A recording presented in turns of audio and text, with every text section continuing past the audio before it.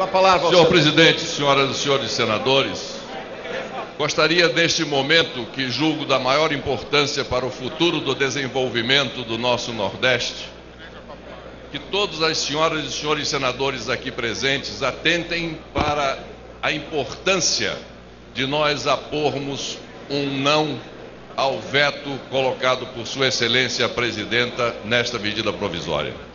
A utilização desta energia, que há tempos, que há tempos foi objeto de um contrato firmado pelo governo federal com as empresas que se dispuseram a implantar as suas iniciativas em território nordestino, foi baseado nesta confiança deste contrato que esses investimentos foram feitos e que hoje, senhor presidente, senhoras e senhores senadores, representam, porque dão oportunidade a 120 mil pessoas a terem o seu emprego com carteira assinada e tendo possibilidade de atingir a quase meio milhão de pessoas, as pessoas, aqueles dependentes dessa atividade das empresas eletrointensivas no Nordeste brasileiro.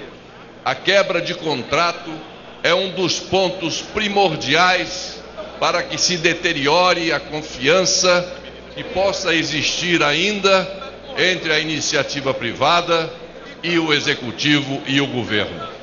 Não pode ser desta forma, penalizando uma região sofrida como o Nordeste que nós haveremos de colaborar com o chamado ajuste fiscal.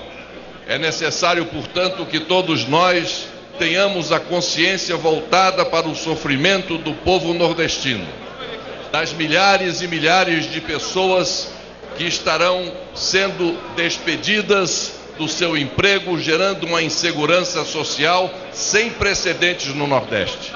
Para que nós possamos, sabendo disso, podermos dizer não a esse veto.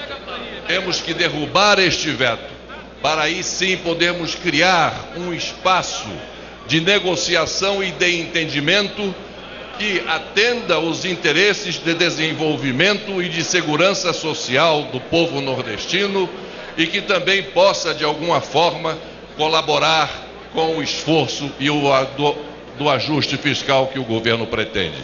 Por isso, em nome do Bloco União e Força do Senado Federal, que reúne os partidos, Partido da República, o PR, Partido Social Cristão, PSC, Partido PRB e o PTB, Partido Trabalhista Brasileiro. Encaminhamos o voto não à proposta que é hoje objeto de discussão neste plenário no Congresso Nacional. Muito obrigado, senhor presidente.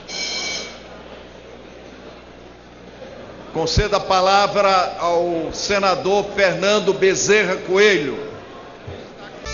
Que não, não que sejam menos importantes. A, a... Um segundo encaminhamento. Ministério de Santos, no meu estado de São Paulo.